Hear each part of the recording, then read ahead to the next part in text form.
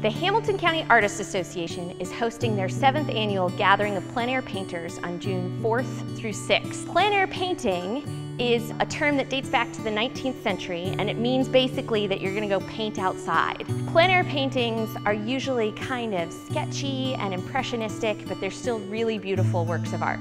There's still time for you to get involved with the Gathering of Plein Air Painters. If you're an artist, you can sign up to join the gathering on HCAA's website.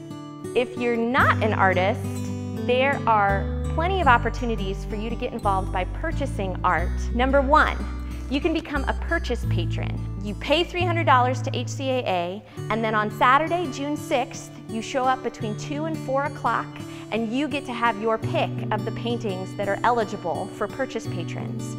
It's a first come, first served basis, so obviously if you get there earlier, you get a better choice.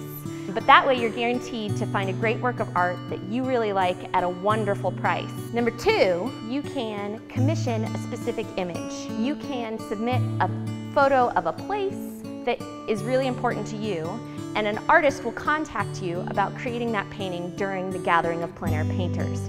Maybe you've always wanted a painting of your own house or your business or your favorite hangout spot in downtown Noblesville.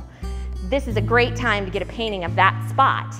If you contact HCAA, that artist will get back in touch with you and they will set the price and the dimensions and all the other details with you over the phone. Number three, you can purchase a painting after the awards are announced.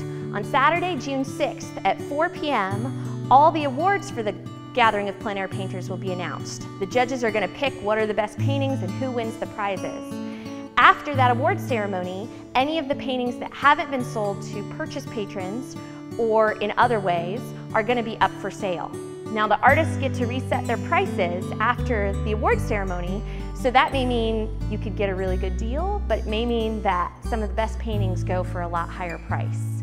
But it's a great way to support a local artist and a really great local organization and event. So it would be totally worth your while to drop by the Birdie Gallery at 195 South 5th Street to see if anything strikes your fancy.